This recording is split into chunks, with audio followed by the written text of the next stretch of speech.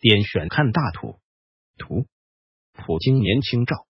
一九五二年十月七日，普京出生于列宁格勒，现为圣彼得堡。普京的母亲玛利亚·伊凡诺夫内·普京娜是一名工厂女工，而他的父亲弗拉基米尔斯·皮里多诺维奇·普京则在苏联海军服役。照片中的普京看起来很冷漠，不苟言笑。图，奥巴马年轻照。这张照片给人的最大感觉就是年轻的奥巴马就是一名街头小混混。图，希特勒小学照，这是一张霸气照。照片中的俄希特勒显得很冷酷。一八九五年，这年希特勒六岁，由于他父亲被调往林茨任职，全家又搬回奥地利。在林茨郊外，他们置办了一所环境清幽的漂亮住宅。不久。希特勒就被送到一所乡村学校上小学。照片应该就是在希特勒上小学时拍摄的。图，丘吉尔年轻时的照片，与二战时相比，有句话形容的最恰当：岁月是把杀猪刀。图，孩童时期的肯尼迪。不得不说，孩童的时期的肯尼迪面目清秀，有点萌萌的。图，布什年轻照。布什年轻时曾两次被捕，四次受到交通处罚。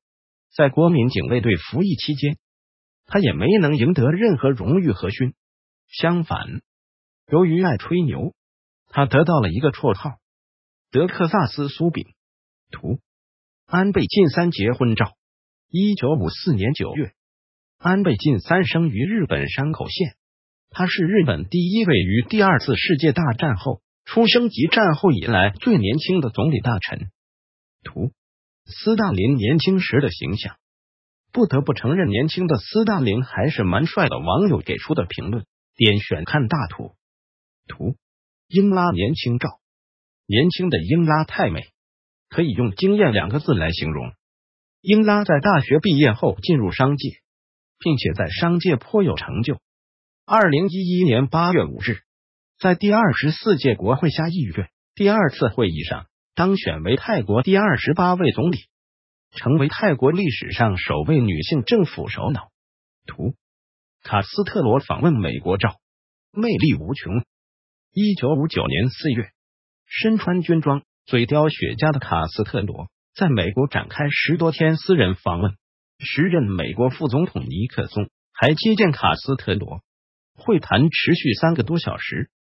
当时，卡斯特罗受到了美国民众热烈欢迎，掀起一阵卡斯特罗热。